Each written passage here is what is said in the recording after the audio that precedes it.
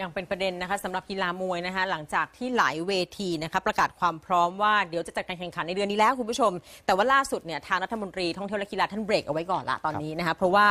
บอกว่าขอให้ทำตามแผนควบคุมโควิดไปก่อนดีกว่านะคะหลังจากที่รัฐบาลได้ปลดล็อกกีฬาสามารถกลับมาแข่งขันได้นะคะแต่ว่าห้ามแฟนกีฬาเข้าชมในสนาม หลายชนิดกีฬาค่ะเริ่มกลับมาเตรียมเปิดการแข่งขันตามปกติแล้วนะคะและหนึ่งในนั้นก็คือมวยไทยค่ะที่จะเริ่มกลับมาชกอีกครั้ง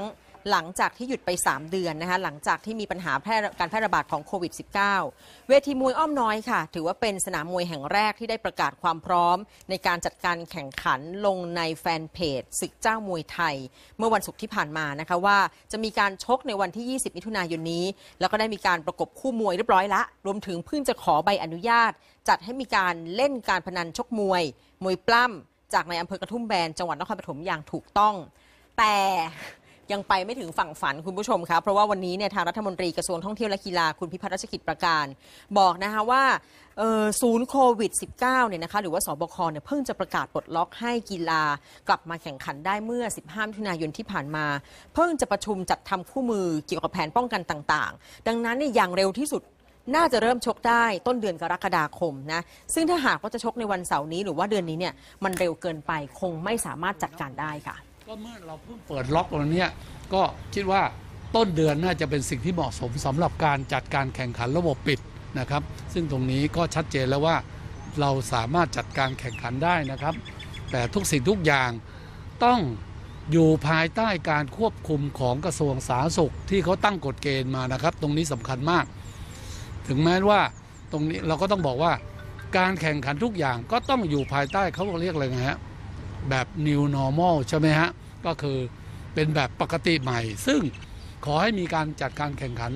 ในเดือนหน้าเลยดีกว่านะครับ ตรงนี้ซึ่งได้หารือกับทางท่านผู้ว่าแล้วว่า ตรงนี้เนี่ยคิดว่าความพร้อมเนี่ยมันก็อาจจะฉุกระหุกไป ก็ขอเลื่อนท่านอีกนิดนึง ก็อดใจไว้นิดหนึ่งนะฮะเราทนเราอดใจรอมาตั้งสองสามเดือนแล้ว อีกไม่กี่วันเราก็อดใจรอไปหน่อยนะครับ เพื่อความพร้อมนะคะ ทีนี้มาดูมาตรการควบคุมกีฬามวยของกระทรวงสาธารณสุข แล้วก็สบคกันบ้างคุณผู้ชมครับมีหลากหลายเลยนะคะ อย่างแรกก็คือจำกัดจำนวนผู้คนที่อยู่ในพื้นที่การแข่งขันมวยเนี่ยไม่เกิน 50 คน แล้วก็ต้องมีมีฉากกั้นทั้ง 4 ด้านสำหรับกรรมการให้คะแนนด้วยนะคะจัดห้องพักนักมวยสำหรับเตรียมตัวก่อนการแข่งขันไม่ต่ำกว่า 4 ห้อง นวมการชกเนี่ยหนึ่งคนต่อนวม 1 คู่นะครัคะ จัดพื้นที่รอบสนามแข่งขัน ให้มีระยะห่างอย่างน้อย 2 เมตร และต้องทำความสะอาดทุกครั้ง หลังจากที่จบการแข่งขันแต่ละคู่ พี่เลี้ยงเองคุณผู้ชมก็ต้องใส่ถุงมือ สวมหน้ากากอนามัยแล้วก็เฟสชิลตลอดเวลาด้วยนะคะ ซึ่งถ้าหากการชกที่มีขึ้นเนี่ยไม่ได้ทำตามกฎเกณฑ์ในระยะเวลาที่ทางสบคกำหนดเนี่ยนะคะ ถือว่าเป็นความผิดสามารถเอาผิดตามกฎหมายได้นะคะ อันนี้ก็เป็นวงการกีฬามวยที่ต้องปรับตัวแบบ new normal นะคะ